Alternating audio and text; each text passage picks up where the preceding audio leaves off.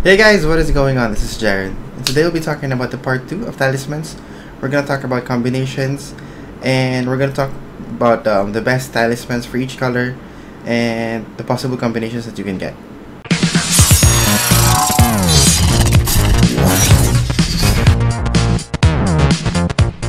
Alright, so we're going to talk about first the um, grading system for talisman. I forgot to mention this last time.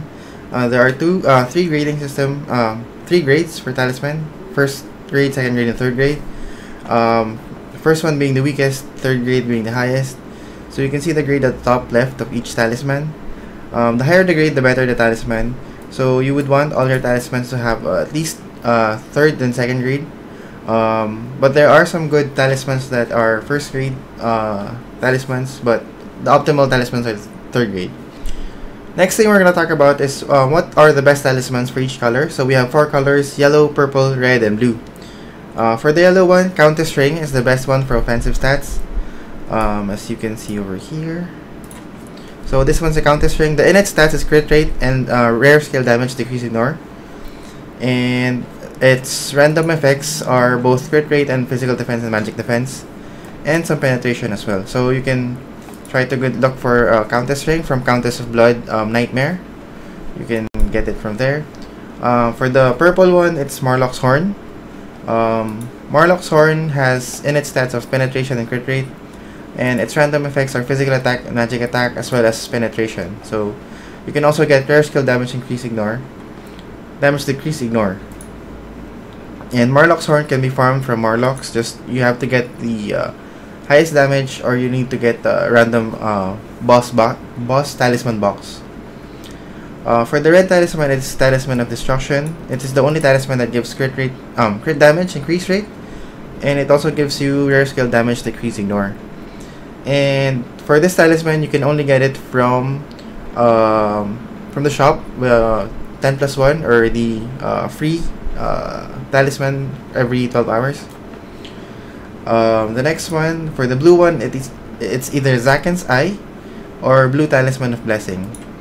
So, um, Blue Talisman of Blessing uh, gives rare skill damage decrease. Um, it is one it is one of the few who is uh, third grade for uh, Blue Talisman. So you you would want to have the at least uh, third grade so you can get good you can get good uh, random stats.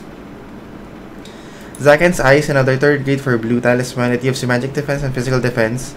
And since it's grade 3, it also gives you the uh, highest amount of random stats.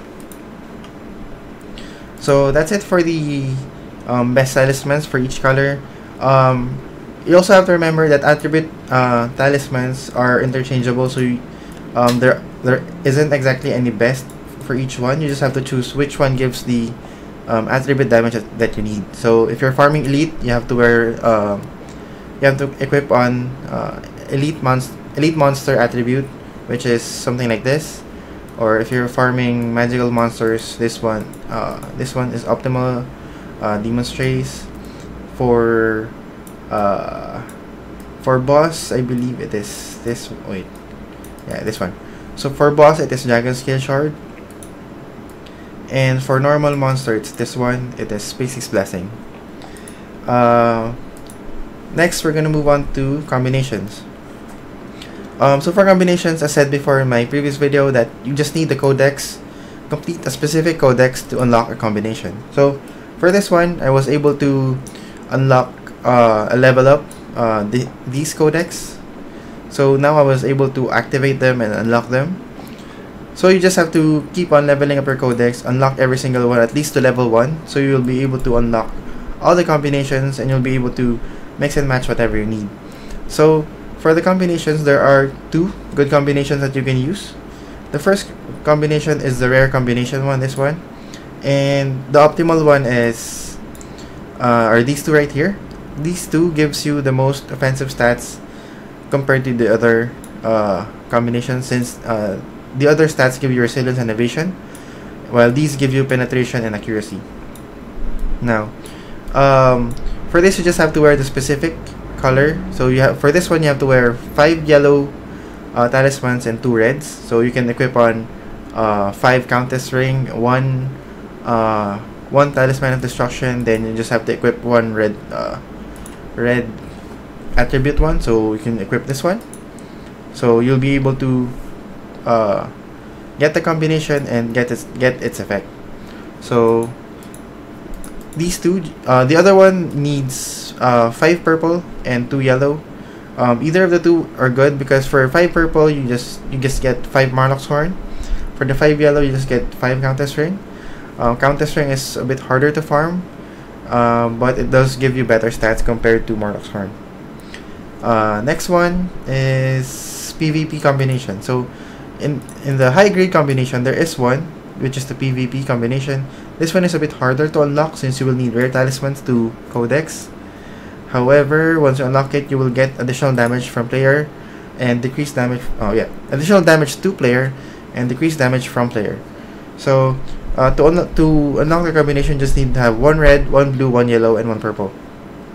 Now, to mix and match this uh, uh, combination, you just wear each one. Then you wear two more yellows, so you'll be on and two more purples. So you just wear three countess, uh, yeah, three countess ring, three Marlock's horn, uh, one red and one blue. Then you'll be good to go. Um, you'll be able to unlock this combination. You'll also be able to unlock this combination which gives you crit rate and penetration. And you'll be able to unlock another one, which is this one, accuracy, and you'll be able to unlock this one, which is evasion. So that's four combinations at in one set, which is for me highest possible CP that you can get. And what else? Um, I would like to remind everyone that you should always check what stats you put. Don't rely on the CP. I know some people who throw who threw away some good talismans just because they have low CP.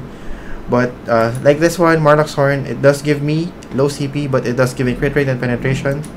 Compared to, uh, let's say, this one gives me more, uh, more CP, but it does only give resilience, which I don't really need.